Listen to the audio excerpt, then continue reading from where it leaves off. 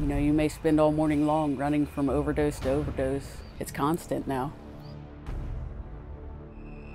You know, I didn't care who I stole from. I didn't care what I had to do. I was going to do it to get that next fix. We've seen a crisis in the use and abuse of heroin like we've never seen before in my entire career.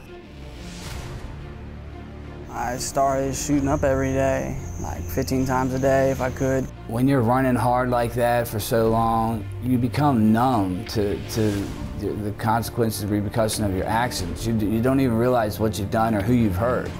The next morning, when I went to wake her up, I found her in her bed. It's crazy. I, I just, I've never seen anything like it. I was so consumed by using. It, it took over everything, controlled everything. I thought it was my fault sometimes.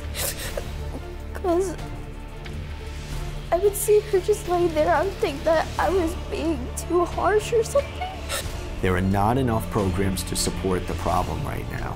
There is a huge wait list, and that person in waiting for a detox bed has a very good chance that they are going to die. What am I going to do? Am I going to wallow in my addiction and, and go back to what I was doing, or am I going to call somebody and get the help that I need? And not every story has to end like ours did. There's two ways to deal with age. You either recover or you die. There, there's no in between here.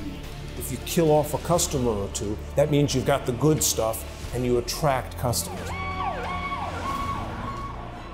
There's no class of people, no race of people that have been exempt from this. None.